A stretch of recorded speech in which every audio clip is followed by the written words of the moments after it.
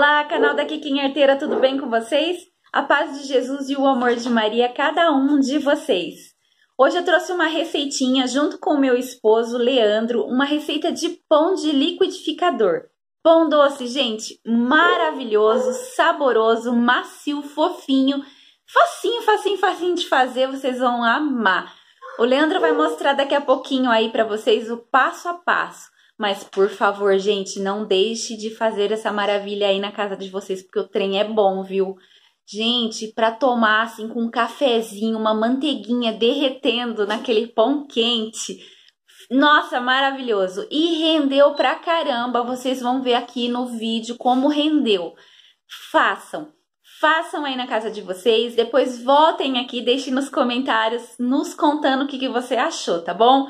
Só vou pedir o seu like, para que você curta e compartilhe mesmo os vídeos que você gosta daqui do canal aí nas suas redes sociais para ajudar a gente, tá? Se você já é inscrito, indique o nosso canal para seus amigos, parentes e amigos.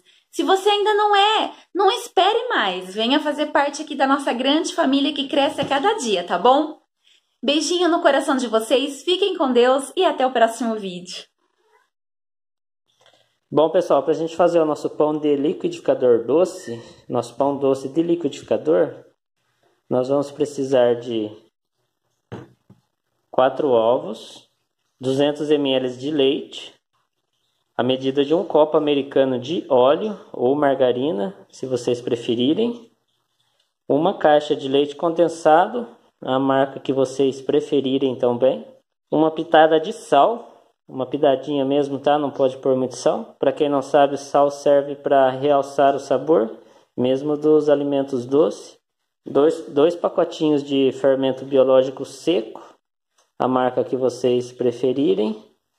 E um quilo de farinha de trigo, farinha branca de trigo, sem fermento. Bom, agora aqui no meu liquidificador eu vou pôr os ovos, os quatro ovos inteiros. Vou pôr um, o copo de óleo, o leite, a minha pitada de sal e a caixa de leite condensado. Bom, feito isso, a gente já pode bater os ingredientes. Eu vou fechar aqui o liquidificador e vamos bater.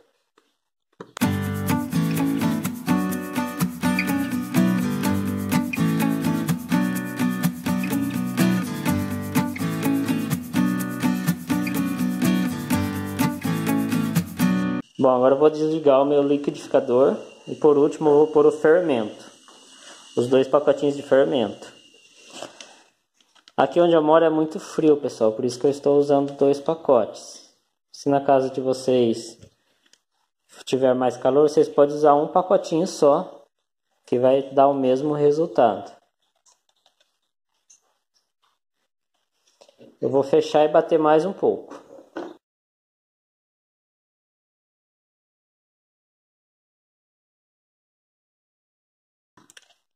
Bom, eu bati por aproximadamente um minuto.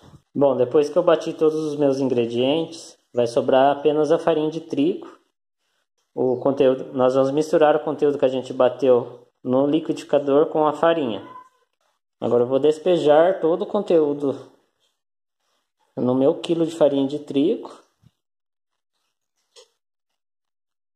E com uma colher nós vamos mexer até homogeneizar todos os ingredientes.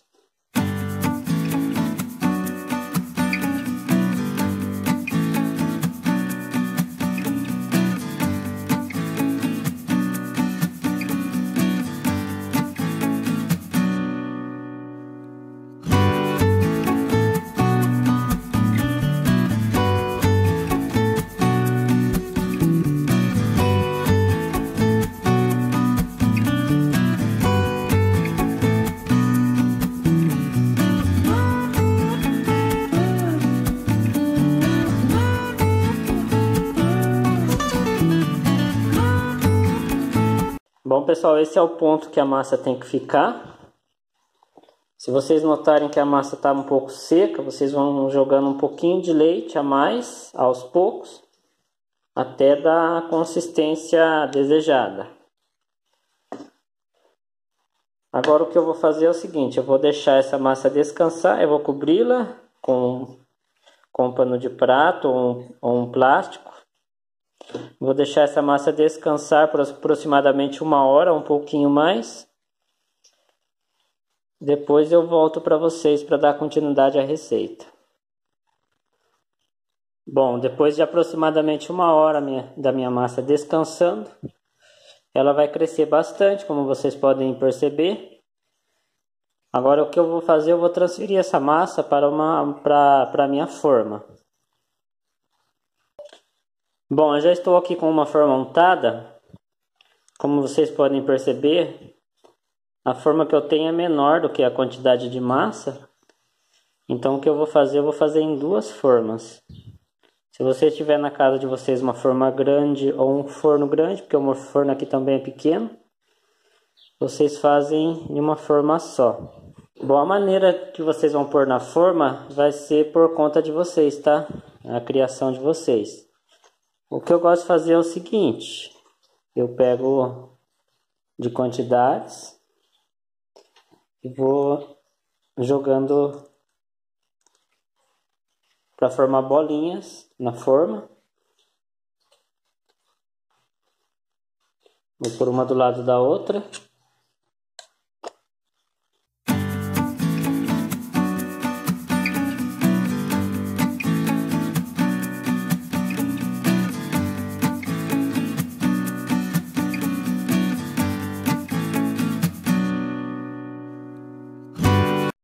Bom, essa minha massa vai dar, eu pelos meus cálculos aqui, umas três formas dessa no mínimo.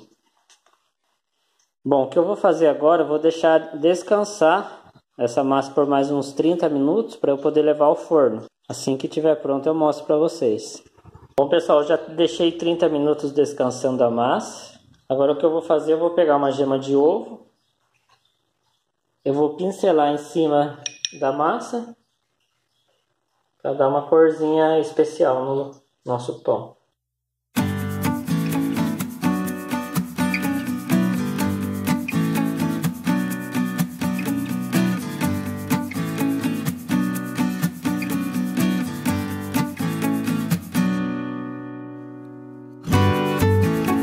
Bom, feito isso é só para só para assar fogo a 180 graus por aproximadamente a 40 a 45 minutos.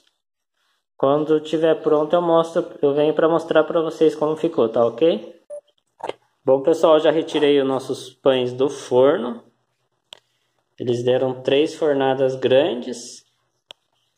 Eles cresceram bastante. Agora eu vou tentar desenformá-los e mostrar para vocês como vai ficar, tá ok? Bom, agora eu vou cortar um pedaço para mostrar para vocês como ficou.